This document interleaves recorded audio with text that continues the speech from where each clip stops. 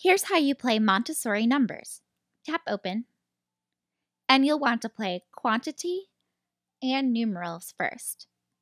Try quantity. Make sure you tap 100 to 999.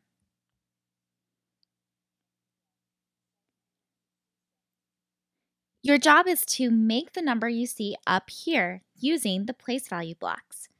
First, we'll make the number in the hundreds place. We'll drag 7 hundreds to make 700.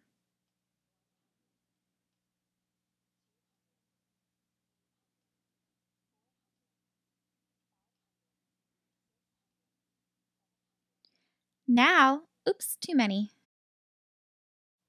Now we'll make the 6 in the tens place by dragging in 60.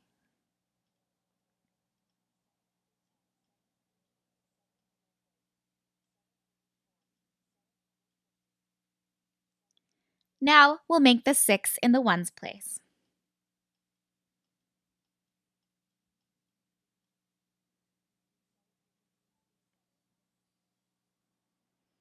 To go back to the main menu, tap the pause button, and then you can click Main Menu. Then try numerals. Again, tap 100 to 999 Make sure you have the sound on so you can hear what number they pronounce. Then you'll drag the cards to create the number. You can also try numerals from quantity.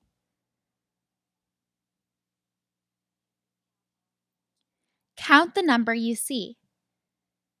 There are two hundreds, so I'll put a 2 in the hundreds place one, two, three, four, five groups of 10. So I'll put a 5 in the tens place.